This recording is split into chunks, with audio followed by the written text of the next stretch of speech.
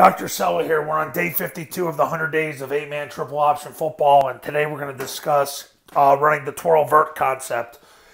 All right, so twirl vert means you're going to put the A back on the right side. He's going to be shoulder width apart, about a yard behind the end.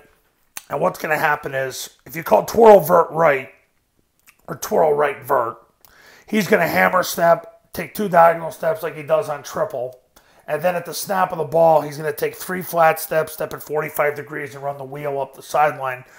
The end on this side is going to run, take three flat steps, step at 45 degrees. He's going to wheel up that sideline.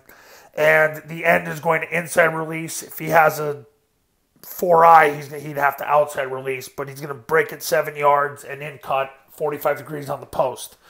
So what happens here is the quarterback's going to take a five step drop. The line slides away from the call.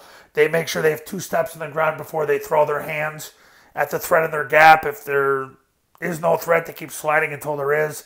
The B back touches the guard, flattens out, blocks the first threat off the guard. And as I said, the quarterback will throw the ball to the A back on the fifth step.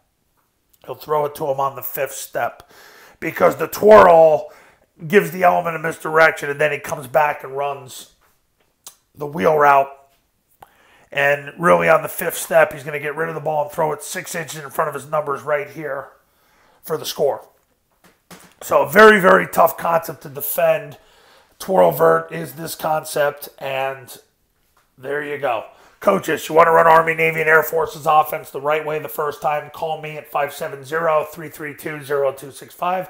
570-332-0265 and go to tripleoptionfootball.com slash testimonials where you can see all the success, success stories that come out of the camps in the academy. See you tomorrow.